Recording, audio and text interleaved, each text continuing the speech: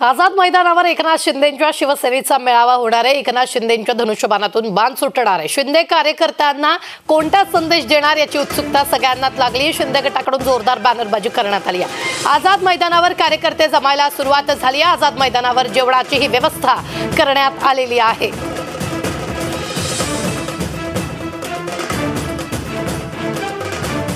या संदर्भात ताजे अपडेट येत आहेत आपले प्रतिनिधी सुमेध साळवे. सुमेध सगळेच जमायला सुरुवात झालेली आहे. शिंदे गटाचे कार्यकर्ते जमायला सुरुवात झालेली आहे. कशी व्यवस्था? नक्कीच रुबीना सध्या आझाद मैदानावर अंतिम टप्प्याची जी तयारी आहे ती झाल्याचं आपल्याला पाहायला मिळते. संपूर्ण स्टेज जे आहे ते सज्ज झाल्याचं आपल्याला पाहायला मिळते. कुठेही कुणालाही स्थान कमी दिलं जाणार नाही. जवळपास बेचाळीस खुर्च्या ज्या आहेत त्या वरती असल्याचं आपल्याला पाहायला मिळते.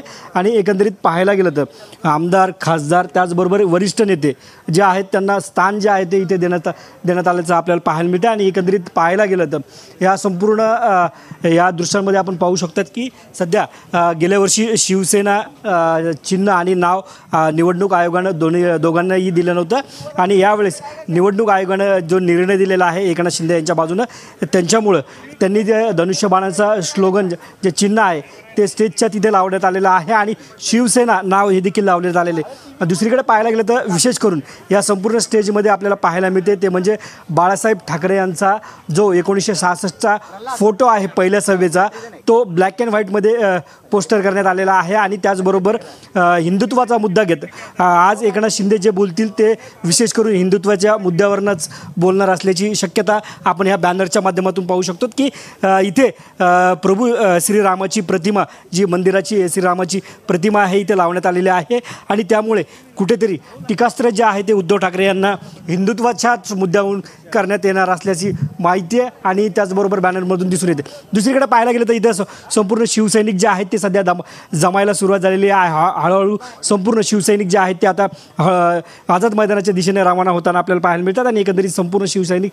सध्या हळूहळू इथं आलेलेच आपल्याला पाहायला मिळतात. आणि दुसरीकडे विशेष करून पाहायला गेलं तर शिवसेनेचा झेंडे जे आहेत ते वेगवेगळ्या पद्धतीनं इथे लावलेले आपल्याला पाहायला मिळते शिवसेना चिन्ह असेल त्याचबरोबर शिवसेनेचं नाव असेल किंवा भगव जे ध्वज असेल हे इथे लावण्यात आलेलं आहे. आणि विशेष करून पाहायला गेलं तर इथे स्क्रीनिंग लावण्यात आलेली जवळपास इथे सहा स्क्रीनिंग लावण्यात आलेले आहेत.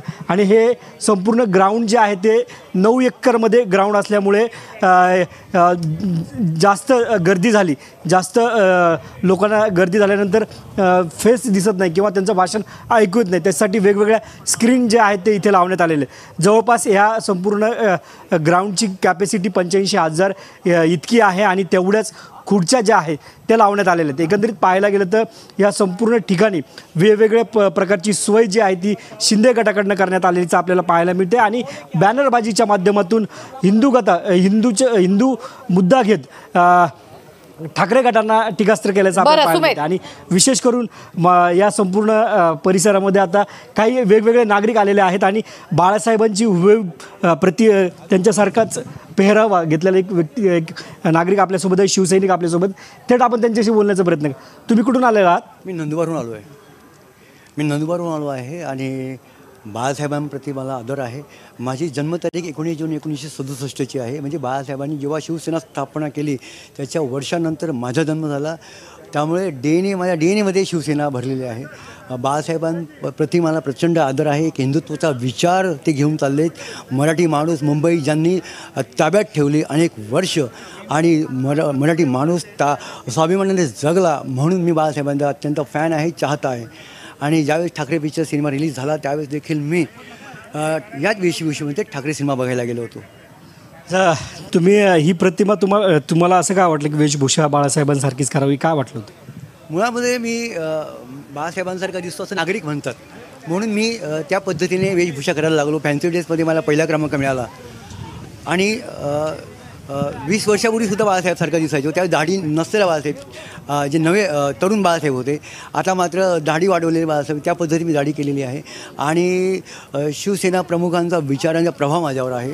त्यामुळे बाळासाहेब ठाकरेसारखं जगणं मी सुद्धा पत्रकार आहे. या सगळ्या गोष्टीत माझ्या डी एन ए रक्तामध्ये बाळासाहेब ठाकरे. बरं. तुम्ही म्हणताय बाळासाहेब डी एन ए तुमच्या रक्तामध्ये आहेत. मग तुम्ही ठाकरे ठाकरेंना सोडून शिंदेकडे का आलात?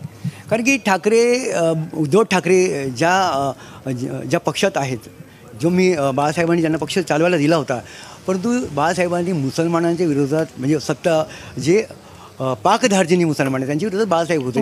किंवा शरद पवारांशी त्यांचं कधी जमलं नाही. आणि उद्धव ठाकरेंनी नेमकं उलट केलं आहे बाळासाहेबांची शिवसेना त्यांनी या पद्धतीने संपवून टाकलेली आहे. आणि. एकनाथ शिंदेने मोदींच्या सोबत त्यांनी आपली साथ धरली आहे. मला वाटते की. हिंदुत्ववाद विचार जो आहे तो हिंदुत्ववाद विचार एकनाथ शिंदेकडे आहे. म्हणून मी या ठिकाणी आलेलो आहे. अगदी अगदी. अगदी सुमेध. धन्यवाद सुमेध ताजे अपडेट देण्यासाठी. आम्ही वेळोवेळी तुमच्याकडून या संदर्भातले ताजे अपडेट जे ते घेत राहणार आहोत.